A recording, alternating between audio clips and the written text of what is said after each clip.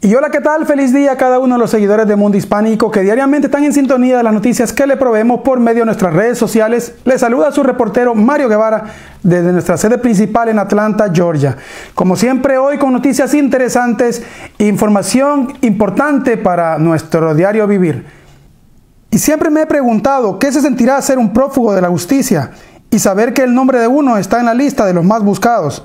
Me imagino que en la mente de esa persona reina la desconfianza al pensar que hasta el mejor amigo podría ser capaz de entregarlo. Ha de ser fastidioso vivir con ese sentir de que en cualquier momento podría haberme rodeado de hombres uniformados apuntándome en la frente con sus armas de fuego. Por ello, lo ideal es siempre evitar a toda costa verse envuelto en una situación de esas y eso se logra tratando de respetar las leyes al máximo. Ayer, por ejemplo, revisé la lista de los más buscados por el Buró Federal de Investigaciones FBI. Y me llamó mucho la atención de que en ella hay varios hispanos que llevan mucho tiempo como fugitivos. Uno de los casos que más atrajo mi atención es el de Héctor Manuel Marcilla Brizuela, quien se estima tiene entre 45 y 50 años de edad.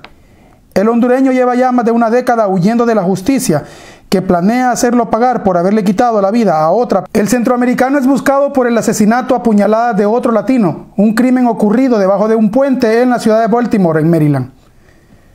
Desde ese fatídico 1 de julio de 2006, la policía local comenzó una intensa búsqueda para capturar al homicida y todas las pruebas apuntaron a que se trataba de Murcia Brizuela, por lo que emitieron una orden de arresto en su contra.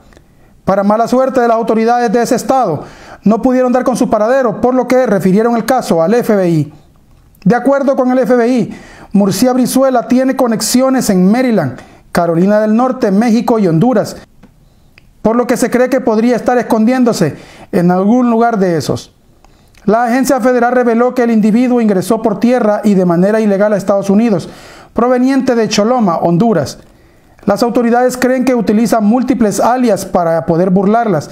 El más común de ellos es Edwin Adiel Santamaría. El FBI lo considera armado y peligroso, por lo que pide a la ciudadanía que si sabe de su paradero, no lo confronte, sino que lo denuncie de inmediato al 911. Ya han pasado 13 años desde que Murcia Brizuela supuestamente cometió el asesinato que le achacan y me extraña que el FBI, una de las principales agencias de inteligencia de Estados Unidos, tenga pocas pistas sobre su paradero. Existe una alta probabilidad de que el sospechoso ya no se encuentre en el país. Y claro está, una vez afuera todo se complica, pues es muy baja la posibilidad de que sea apresado y extraditado por las autoridades de su lugar de origen. Recuerdo perfectamente el caso de una anciana de 80 años que por casi seis décadas permaneció fugitiva por un homicidio que cometió en su juventud. Finalmente, cuando trató de resolver un problema que tenía con su nombre en su acta de matrimonio, que por cierto había contraído con documentos fraudulentos. La detectaron y pues finalmente terminó tras las rejas.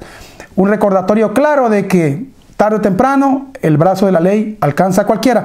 Con esto me despido, su reportero y su amigo Mario Guevara de nuestra sede principal en Atlanta, Georgia.